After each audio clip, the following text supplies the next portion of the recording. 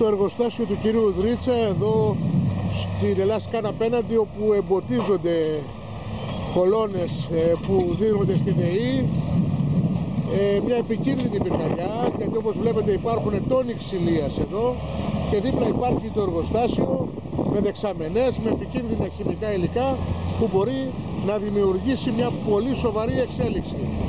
Υπάρχει αυτή τη στιγμή, παντού βλέπετε κολόνες, μερικές εμποτισμένες, μερικές μη εμποτισμένες. Υπάρχει αυτή τη στιγμή μια αγωνιώδης προσπάθεια από καλίκες, ε, από γερανούς να απομακρύνουν την ξυλία που ήδη έχει πάρει φωτιά.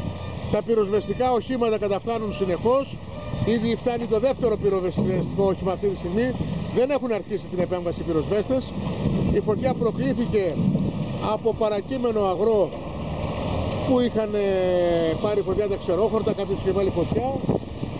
Βλέπετε τι σημαίνει αυτή τη στιγμή, λίγο μετά τις 2.30 ώρα το μεσημέρι.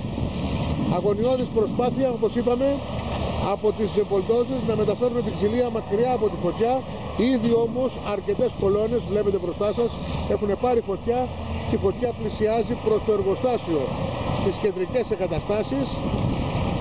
Ε, όπως είπαμε, κοιτάξτε τόνοι ξυλίες εδώ απλωμένοι και στις κεντρικές εγκαταστάσεις που βλέπετε μέχρι το βάθος υπάρχει φυσικά το εργοστάσιο, υπάρχουν δεξαμενές με ανάλογα υγρά.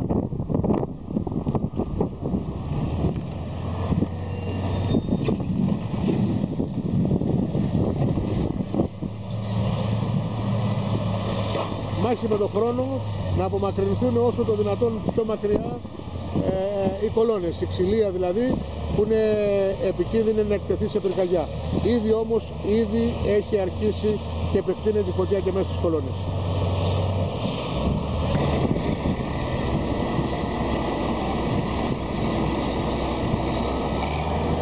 Η μάχη με τις φλόγες ήδη έχει αρχίσει και φυσάει δυνατός αέρας συνεχίζεται Βλέπετε λοιπόν πλησιάζουν και τα πυροσβεστικά οχήματα.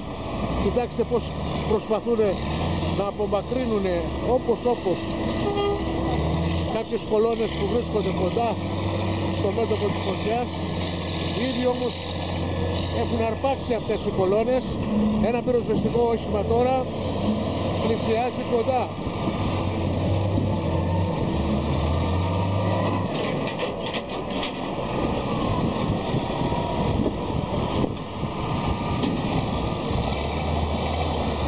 προχωράει επικίνδυνα προς το εργοστάσιο.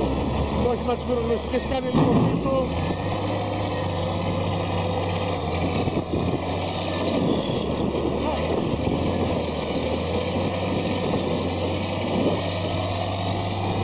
Απομακρύνθηκε το όχημα της πυροσβεστικής. Κοιτάξτε με τι ταχύτητα πλησιάζει η φωτιά προς το εργοστάσιο.